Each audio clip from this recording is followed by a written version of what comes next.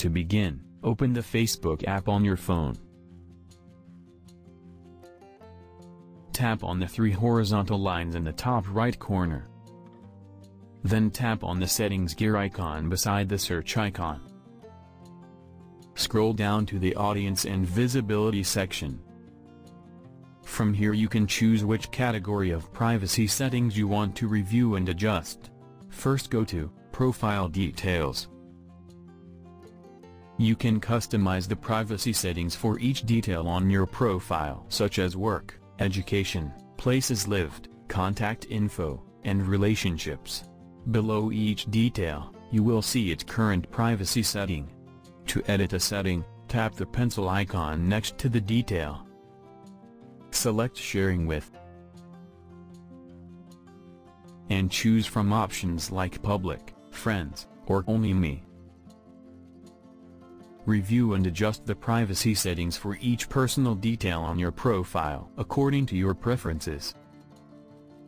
For how people find and contact you, you can choose who can send you friend requests, who can see your friends list, who Facebook can suggest you as a friend if they have your email or phone number, and whether you want your profile to appear in search engine results. For posts, you can decide who can see your future posts, and also past posts, as well as whether to allow comment summaries on your posts. For stories, you can control who can see your story, and also where your story is shared.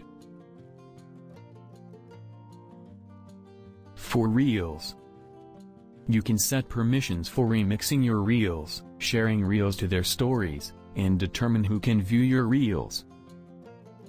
For followers and public content, you can decide who can follow you, who can view your followers on your timeline, who can see the pages you follow, and who can comment on your public posts.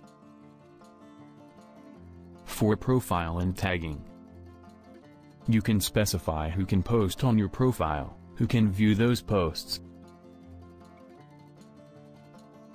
who can see posts you're tagged in, and whether you want to review tagged posts before they appear on your profile.